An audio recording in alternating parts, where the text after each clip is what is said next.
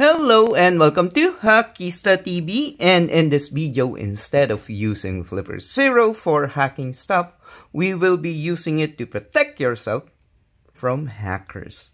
And the feature that we will be using is U2F or Universal Second Factor Authentication.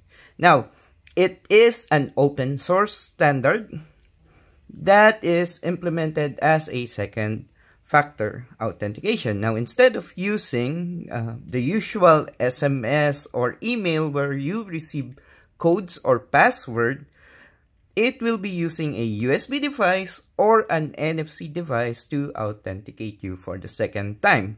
And a popular device that does this in the market is the Yubico key.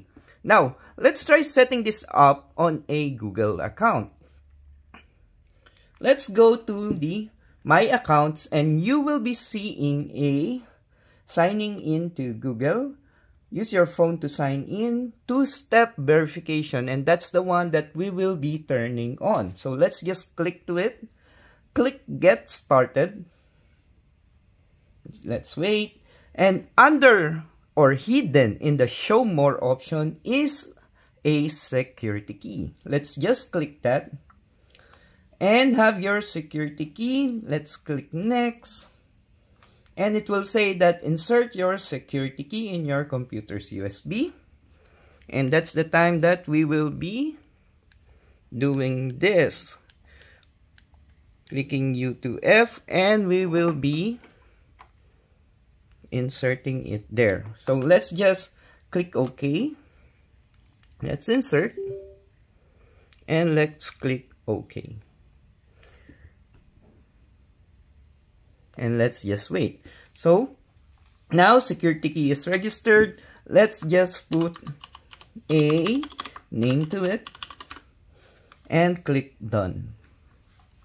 Okay, so now your Flipper Zero acts as a second authentication source.